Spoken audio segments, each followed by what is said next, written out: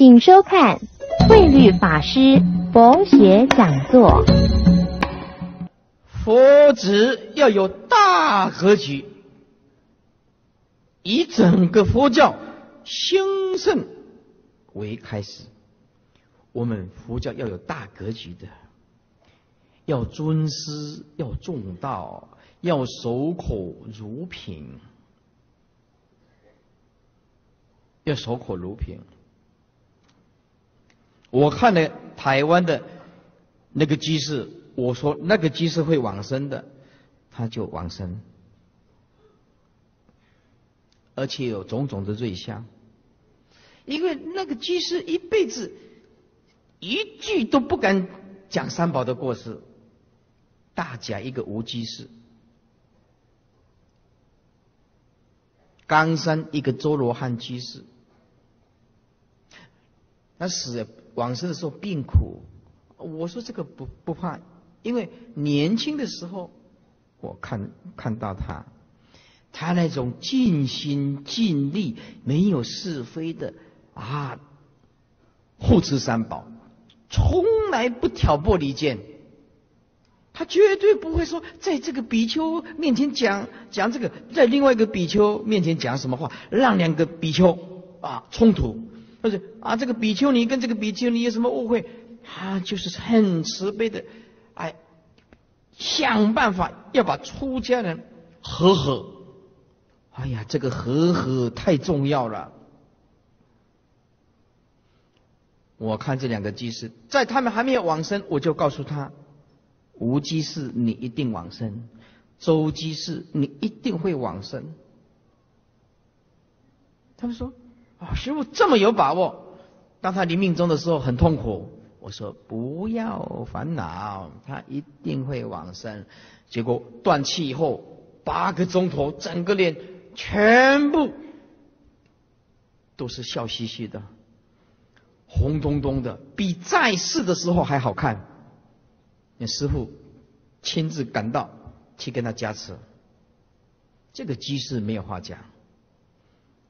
一句口业都不会讲，打死不讲是三宝的是非。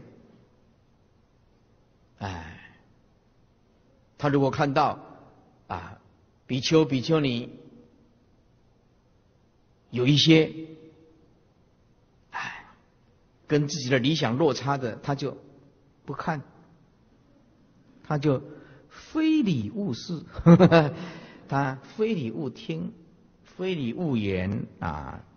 晚上洗脸的时候，洗到这个地方，记得非礼勿视；洗到这耳朵，非礼勿听；洗到这个地方，非礼勿言。嗯，哎，他就这样子，而且坚持他的理念。哎，哦，他就把它当做哦，他是菩萨视线的，我看不懂。我看不懂啊，他是菩萨菩萨视线的啊，因为呃，是不是所有的出家人呃都是圣人，都是正大阿罗汉国的，都是断我执断法执的，当然会有参差不齐了啊，是不是？有圣身嘛，当然也有凡夫身嘛。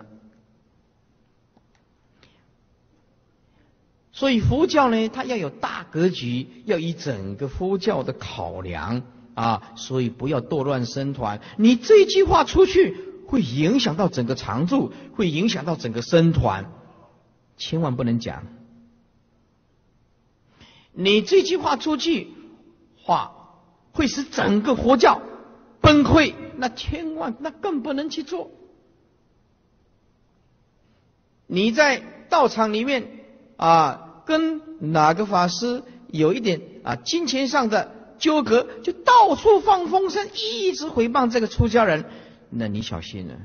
我告诉你哦，我不是唬你的啊，真的哦，带坐轮也很难呐，真的。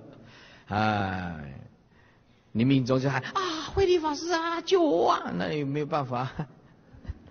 你平常叫叫你不要谤佛、谤法、谤僧，你拼命讲，是不是啊？那有什么办法呢？善因结善缘，慈悲大无边，宽阔的胸怀动感天地间。